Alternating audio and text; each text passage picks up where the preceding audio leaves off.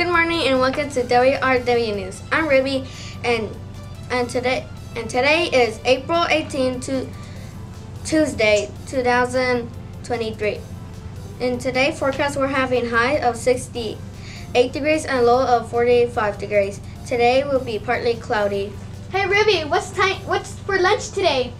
Thank you for asking that Christina. For lunch today we're serving cheeseburger. For breakfast tomorrow, we're having pancakes on a stick.